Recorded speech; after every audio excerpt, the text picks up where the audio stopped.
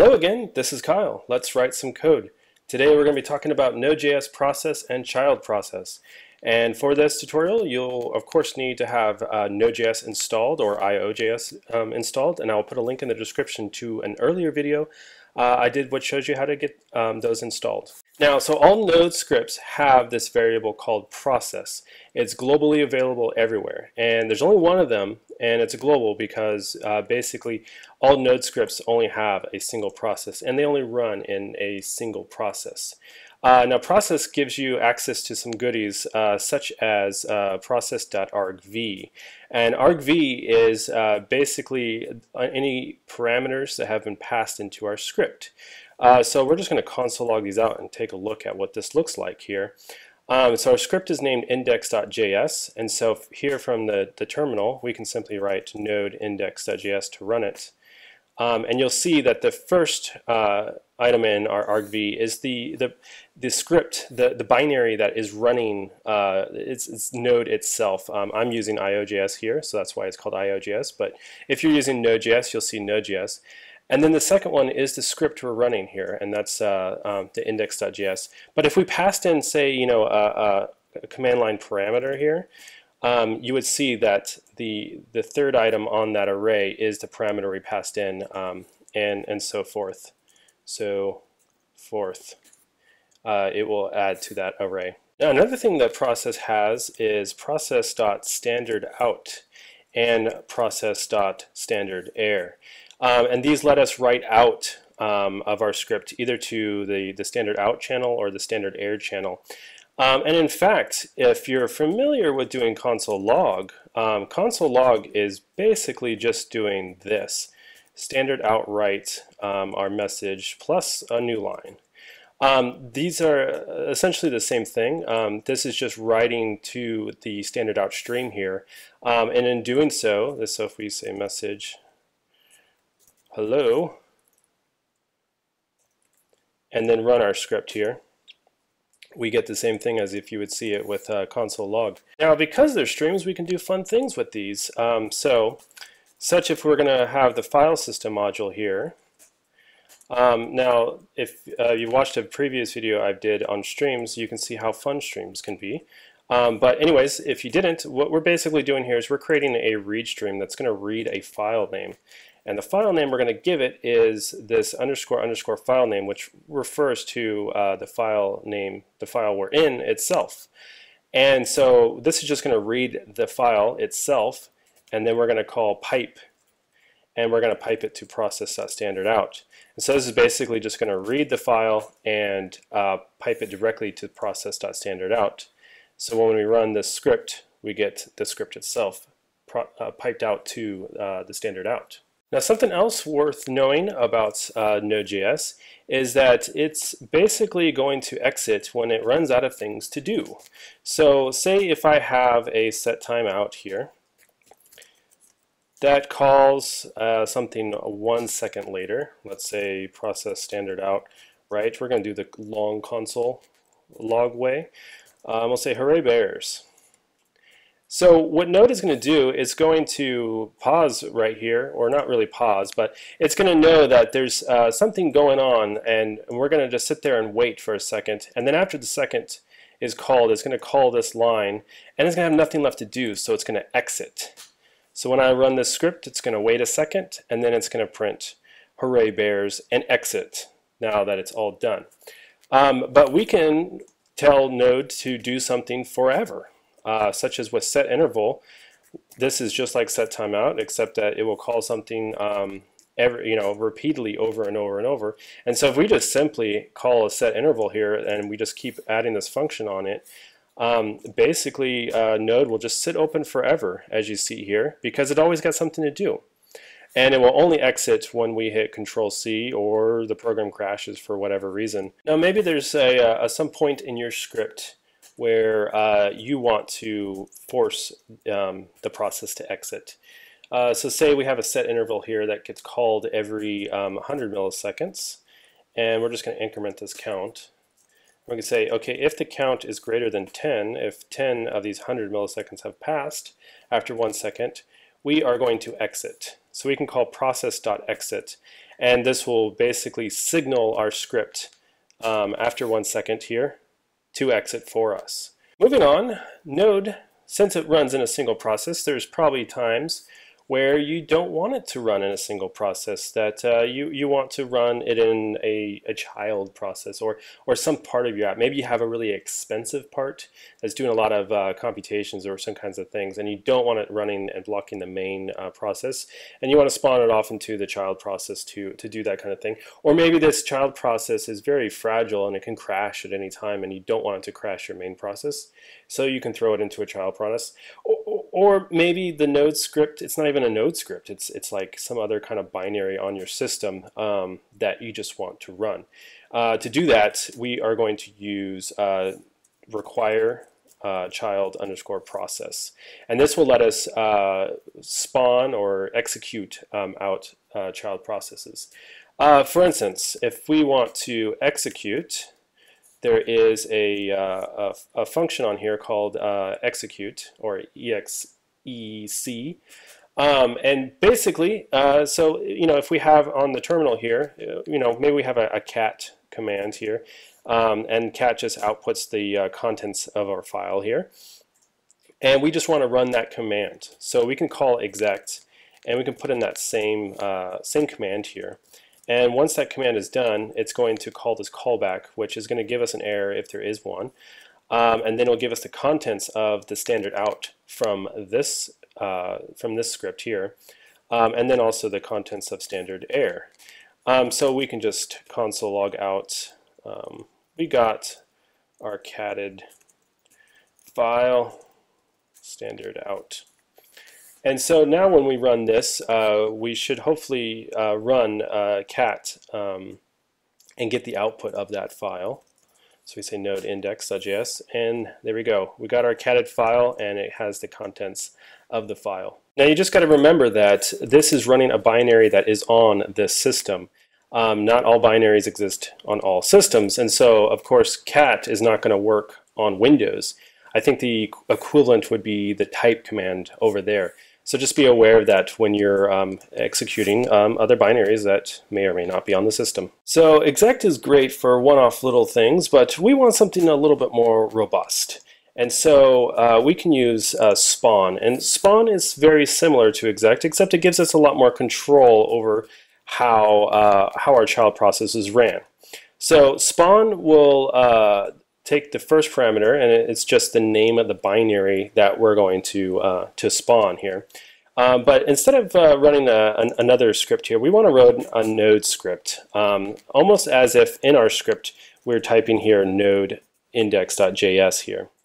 Um, and so to get the, uh, since we already are in nodes, to get the current uh, binary that we're, we're running on the current process, we can use process.exec path, and this is the path to the current version of Node.js that we're that's currently running this script.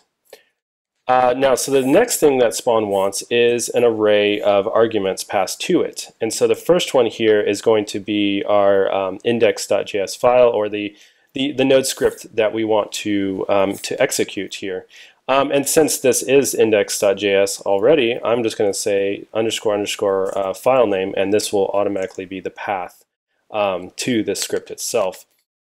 And then the next thing I'm going to do is I'm going to pass in a another parameter here that lets us know that this is a child process. And that way we don't create an infinite loop of this process spawning itself and then which course would then spawn itself and then of course then would spawn itself all the way until your computer explodes.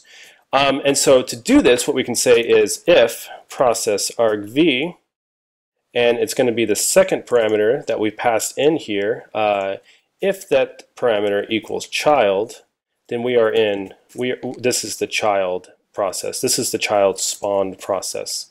Otherwise, it's not the child spawn process, and of course we want then to call this spawn child process to uh, to spawn it here. So by default, spawn will give our output input uh, channels as uh, streams. So if we create a variable here called our child, or for our child process, uh, we can access that stream uh, by uh, doing child.standardout. And any data that gets written to this uh, channel, um, we can pipe out here. So we'll say console log from child data to string. And then just to write something out from the child, I'm from, I'm inside the child, just to be clear, that from this point on, this is, this is from the child spawning this part of our script. Um, in which case it's going to write to our standard out here, and then we're going to get that standard out and write it from here. So let's run this and see what it looks like. So as you see, we say we get the message from the child. I'm inside the child. Um, so what it's done is, is the first thing that's gone along here. It's hit this line. It's it's spawning this child process, which then goes through and runs and hits this line, which then outputs the the this message to our standard out here. In which case, then it grabs it, and finally outputs it to um, our own process uh, dot standard out. But since it's a stream, we can pipe it. So we can say child.standardout pipe to our process.standardout and get the uh, same result here um, from inside the child. So basically anything written within the child process will be piped directly to our, our main process uh, standard out. Um, and then there's a shorthand that we can do this uh, when we create the, uh, the child process here. Uh, this third um, um, argument here, we can provide an option called uh, standard.io, and we can simply say inherit. And this won't create this uh, standard out uh, channel for us to pipe to. Instead, it'll just automatically uh, pipe all the, the to the process.standard out, basically inherit from the parent process of which ones to do. And so we'll, we get the same um, the same output as if we explicitly um, piped each one of these channels out. Now, it's important to know that each process is completely self-contained, and this may seem super obvious to you, but it really threw me off when I first got started with Node.js. Uh, so for instance here, I'm going to create a variable called bears, and this is just going to keep track of how many bears we have. Um, and so every time this script runs, it's going to add a bear here. And so I'm going to just then console log out the bears here, and our uh, parent process is also going to console log out uh, the bears here. So let's say bears, parent bears, and then child bears. And so what this is going to do is the first time it comes around, it's you know it's not going to have this child uh, um, argument passed on to it. So it's going to hit this part first, and it's going to spawn itself as a script, and then write uh, the bears out here. Um, and you might expect, um, since we have this variable bears, it's in the same script, that maybe it's going to increment our bears here. But when we run the script here, you'll see that both uh, the parent and the child are 1. Um, and that's just because every single process in Node um, is its own context, its own thing. So, you know, just because we have a bears here does not mean that when we spawn it in a child process, that it, you know, the bears is going to somehow um, share that same context, share that same information. They are completely independent of each other.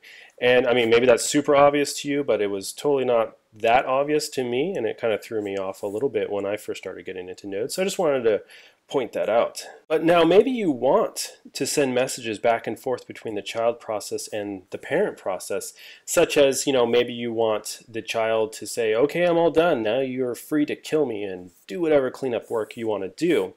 Um, so the standard I.O. Uh, parameter here, we can pass it an array, and this will define on how we want to set up each of the channels. Uh, so the first three are going to be uh, standard in, uh, the next one standard out, and then the third one is standard air. I'm passing null to all three of these, which is just going to use the default, and um, it's going to create a pipe uh, for each one of these here. Um, but the we can specify more than just those three channels. And so I'm going to specify, uh, you know, a third or fourth channel here that is a pipe. And so this is just a, a way for me to send messages down to the child and have the child send messages back up. Um, so in order for the child to uh, read from this is they can read from a file descriptor here. So what I'm going to do is I'm going to use uh, the net not NAT, the NET uh, API here. Um, and we're going to um, simply create a pipe um, that's new net socket. And the socket we're going to be listening to is a file descriptor 3. Um, so since this is the, the third uh, file descriptor uh, available to this process, uh, we can create a socket connection to that file descriptor. Um, and so from here, what we can do is we can write to this pipe here, um, you know, a message. So we'll say write kill me because we want to notify the parent process uh, we're all done and, you know, please kill me. Um, so in order to get this off of the child process, to get this message it's sending up here, we can access this uh, child.standard.io array here. And um, since it's our third, uh, our third channel here, uh, we're going to put in 3. And it's a, a stream, so we can listen to the data here. So we'll say on data, function data. And then we simply just check what messages that they're sending up. And so we say, okay, if the message they're sending up to us is kill me, we're going to console log out rest in peace. And we are going to call child.kill and kill the child, as horrible as that sounds. So let's give this a try and see, hopefully, that it will run and spawn our child process then uh, send a message up out back to the parent process, get that message, log out console RIP, and kill the child. Hopefully it all works. It worked. Doesn't look like much, but it worked. It wouldn't have got here unless it worked. So it worked anyways, I hope that has helped you learn all about uh, the node process and uh, node child processes. And if it has, then please share the video. I would really appreciate that.